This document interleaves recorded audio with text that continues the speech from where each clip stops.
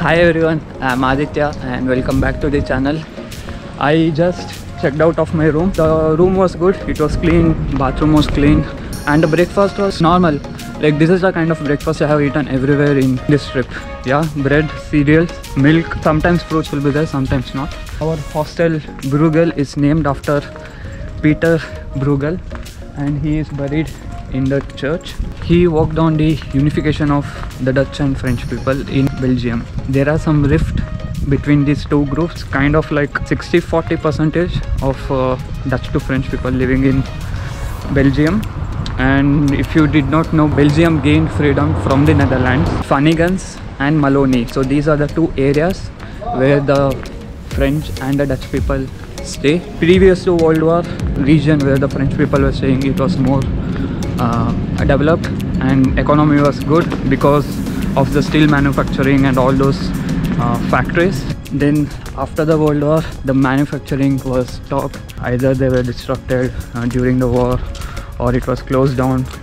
And then uh, the region where the Dutch people are living, so this got boomed. Uh, and the other side of the Belgium, the economy came down and the development came down. So even now, the unemployment rate there is more than double of what is in the Dutch region. So there were many reforms in the law to improve, but still that is the situation. Peter Bruegel, he worked on the unification of them. Yeah, the hostel is named after him. Currently, I am going to the railway station. I wanted to even go to Brussels, but due to time constraint, I couldn't go. Uh, yeah, so I'll be going to Ghent and my train is at 8.50 and it will take around 45 minutes to reach Ghent. I'll catch the train and then I'll see you guys in Ghent. It's 10 o'clock and I reached Ghent. We'll go to the castle as the first point.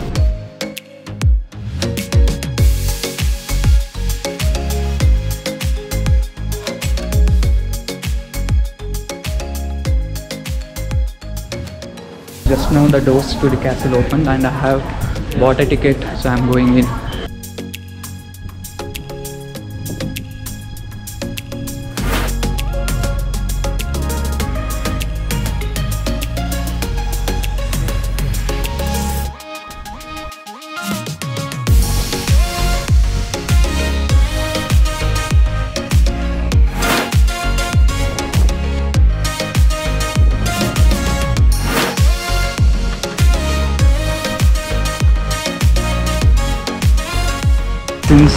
Had the e-ticket.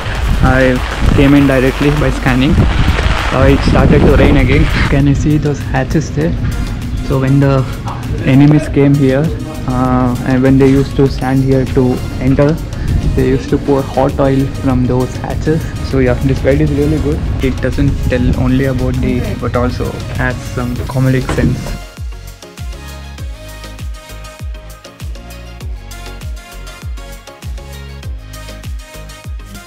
I am at the rooftop. There is a river, and the Vikings from Iceland came from this river, conquered Swedish, Norway, everywhere. And once they came here, the warriors from this region, from the Flanders, they went and they fought the Vikings and they lost. Guide explains that he came from the ancestors who fled, who were cowards but survived.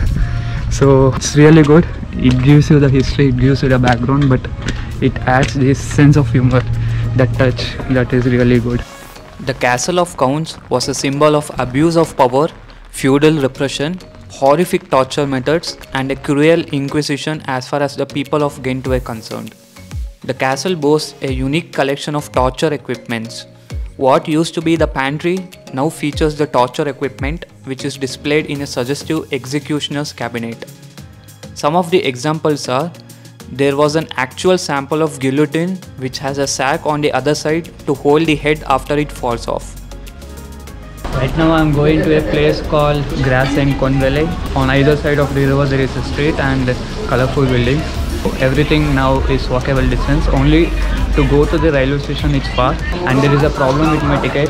Uh, whatever the train ticket I have and the timing and the train, I don't think it exists. So I just checked in the DB app which I use in Germany. I just I just wanted to check the platform and wanted to see if it works here uh, because these are not German trains and it worked and I couldn't see my train or any train at that time.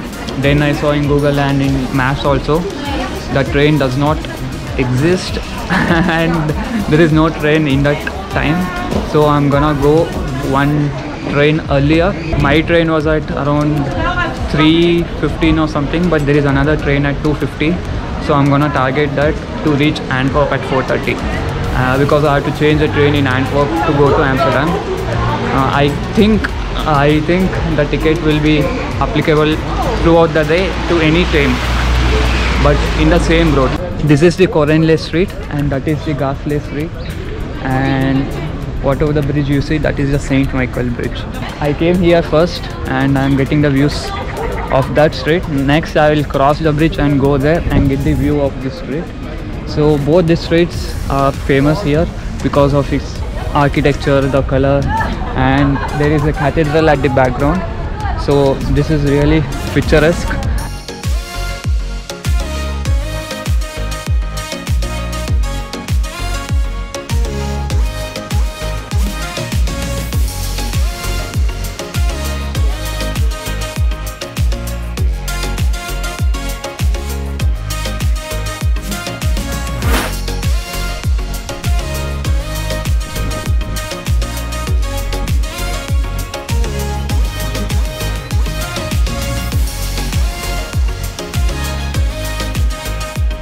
I again went back to the castle because near the castle only I had seen an umbrella shop. Uh, I bought an umbrella for 10 euros. Finally, I will be able to manage with rain because yeah, it was a headache actually. To be honest, I should have done this in two trips ago when I went to Croatia. This is Saint Nicholas Church and that is Saint Bavos Cathedral and there is Belfort Tower as well. Let me cross the street. From here you can see the Belfort Tower more clearly. So three beautiful magnificent structure and if you just turn this side you will see these houses or buildings with amazing architecture and colors. This reminds me kind of like Florence because everywhere you go the city is very beautiful.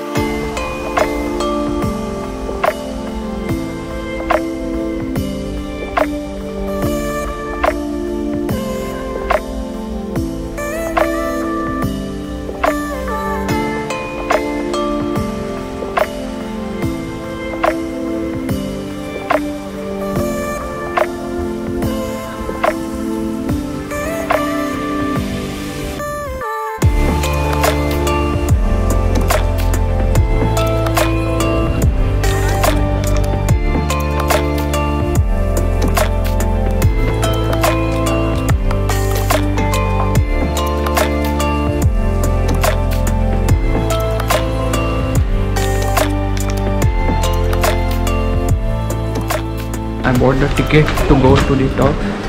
And I have to run to the entrance.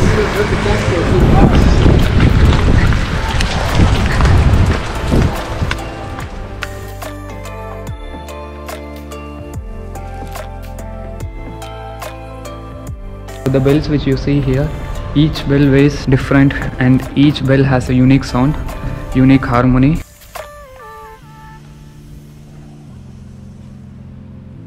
from the top. You will obviously get the whole city view. And this is the next location which I'll go. It is St. Bavos Cathedral. The Belfort Tower is in between the church and the cathedral. And uh, I hope once we go down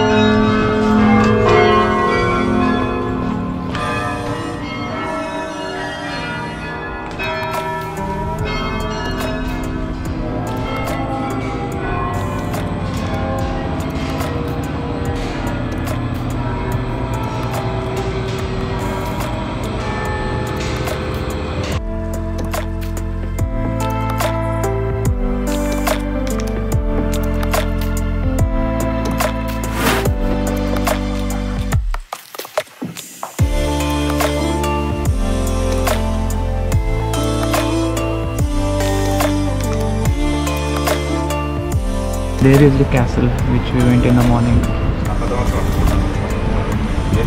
So we went like that and crossed the bridge and came here. And getting down the steps are too narrow and if you are claustrophobic it's better to come from the lift itself.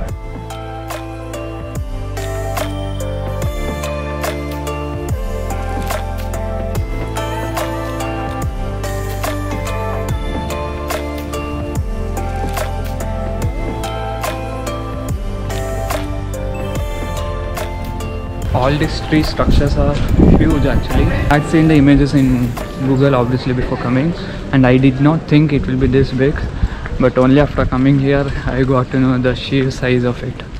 So now i'm going to the town hall. Even that is just close by.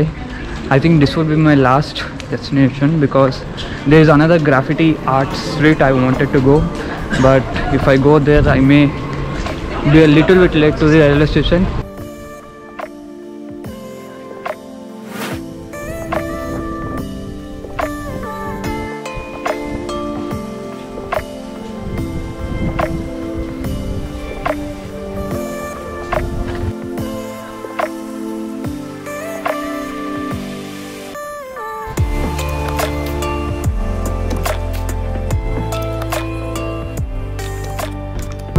to get a glimpse of this graffiti street. That side is the cathedral and you have to come here and it's hidden in a small pathway.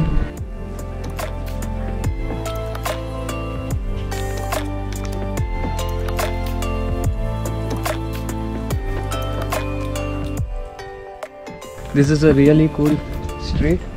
It stretches a long way and it's quite, it will be some quiet time in this touristy place. There are several shops which sell fries and I tasted the famous Belgian fries also known as french fries. Then I headed towards the railway station by walk instead of taking the tram so as to get a glimpse of Ghent outside the old city center. After reaching Amsterdam, I made my way towards my hostel across the river in a ferry. The ferry is free of charge and is running every 5 to 10 minutes. It was very windy and continuously raining in Amsterdam similar to how it was in Ghent. This is it for now. Thank you for watching. If you have any queries you can always add a comment. And uh, you can ask. I'll definitely come back to you. Uh, if you like the video please give a thumbs up add a comment. And if you don't like the video you can still add a comment and tell what you don't like about it. Uh, i think there's some party going on there. It looks nice with light. And in this climate this looks nice actually. I will go inside the room. I will freshen up and I will plan for tomorrow.